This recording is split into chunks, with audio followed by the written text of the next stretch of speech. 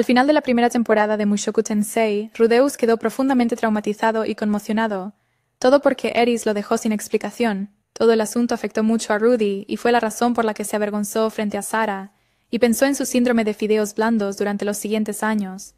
Rudy se sintió muy deprimido porque Eris no le dijo nada, salvo por esa críptica carta de despedida afirmando que Rudy y Eris no estaban al mismo nivel.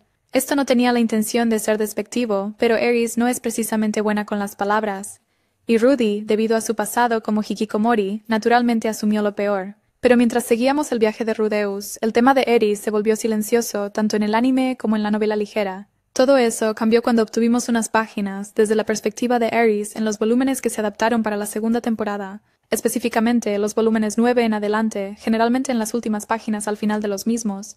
En esas páginas vemos a Eris yendo al santuario de la espada en la tierra sagrada de la espada junto con Ghislaine, y el actual dios de la espada reinante, Galfarión, inmediatamente reconoció que Eris era una joya en bruto, con un potencial enorme, mientras que el resto de los santos de la espada estaban horrorizados por su falta de habilidades sociales y cortesía. Sin embargo, después de que Eris derrotó y humilló a Ninafarión, la hija de Galfarión, y luego sobrevivió a un golpe del propio Galfarión, se ganó el derecho a entrenar y estudiar junto a los otros santos de la espada, y la razón por la que Galfarión puede tolerar las habilidades sociales algo deficientes de Eris y sus arrebatos es porque casi lamenta cómo entrenó a Ghislaine. Aunque es una reina de la espada, según Galfarion, Ghislaine perdió su filo. Concedido, finalmente aprendió a leer y escribir y ya no es tan excesivamente agresiva como lo era en su juventud. Y al igual que Eris, Ghislaine fue considerada un fracaso en su tribu en ese entonces. Por cierto, esa también es la razón por la que Persena y Linnea fueron enviadas a Rinoa, porque sus tribus querían evitar que terminaran como Ghislaine. Pero aunque Ghislaine ganó mucha riqueza en su tribu, no fue la única en sufrir. Y, más tarde, gracias a Rudy, también aprendió a leer y escribir, y ahora incluso puede usar un poco de magia. Se volvió más dócil en el proceso. Ya no tenía la misma ambición de hacerse fuerte como Aeris, quien aún tiene la misma autodisciplina que un hombre lobo rabioso en una carnicería. Y Galfarion quería preservar esa agresión pura, que es perfecta para el estilo de esgrima del dios de la espada. Verás, Aeris se ha puesto un objetivo que Galfarion también intentó, pero falló. Quiere matar a Orsted, quien la derrotó sin esfuerzo, y por eso el entrenamiento de Aeris en el dominio del dios de la espada no se centra principalmente en la disciplina, o aprender etiqueta, o mucha instrucción. En cambio, está centrado en el entrenamiento físico y la necesidad de pelear con otros estudiantes de diferentes escuelas de maestros de espada, como la escuela de la espada del dios del agua. Esto se debe a que fue una técnica del dios del agua la que hizo que Aerys chocara contra la pared de la montaña durante su batalla contra Ørsted. Como Ørsted domina todas las técnicas del mundo, Aerys debe aprender también varios estilos de esgrima para siquiera intentar derrotarlo. Y este enfoque funciona relativamente bien. A medida que progresa su historia, Aerys se encuentra en una dinámica similar a la que tienen Saevas, Albedo y Cositus en Overlord. Así como Albedo es más fuerte que Saevas porque su defensa es lo suficientemente fuerte como para resistir los ataques sin armas de Saevas, Cositus es más fuerte que Albedo porque su poder de ataque puede romper la defensa de Albedo.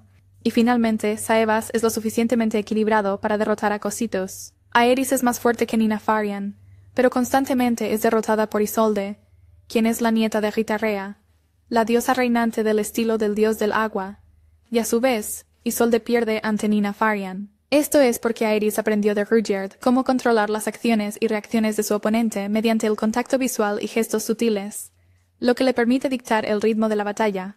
Así que Aeris no solo reacciona a los ataques, les dice que se comporten como ella quiere. Este fue el gran problema de Nina cuando combatió contra Aeris, y por eso perdía una y otra vez. Al mismo tiempo, Eris era abiertamente agresiva y tan estable como un cartucho de dinamita en un horno, lo que facilitaba a Isolde leer y contrarrestar sus acciones y patrones de ataque. Porque así es como funciona el estilo del dios del agua, que contrarresta y reacciona. Finalmente, Nina, tras ser derrotada por Eris y Barigotti, y sorprendida por la fuerza de Rudeus, aprendió humildad y perdió su arrogancia. Aprendió a controlarse también, que Isolde no podía predecir ni contrarrestar sus ataques, lo cual es la base de todo su estilo de lucha. Eris no era necesariamente la más tranquila o controlada de este trío, pero se abrió y compartió consejos y trucos con Nina e Isolde, algo que no habría hecho unos años antes. Así que mientras Rudy estudiaba magia en la Academia de Rinoa y se convertía en un mejor hechicero, también mejoraba como espadachín en la Santa Tierra de la Espada. Ah, y sí, Ella todavía cree que está con Rudy y que él la está esperando. Pero eso es un tema para la temporada 3 o 4 de Mushoku Tensei. Ah, y por último, un dato curioso. Todo el dominio de los dioses de la espada y el diseño de personajes de Nina Farian y los demás también me recuerdan mucho a la serie de videojuegos Fire Emblem, donde también hay clases de personajes como los santos de la espada. No estoy seguro de si todo esto realmente está inspirado en Fire Emblem, pero si es así, es seguro decir que el autor de Mushoku Tensei tiene un gran gusto por los videojuegos.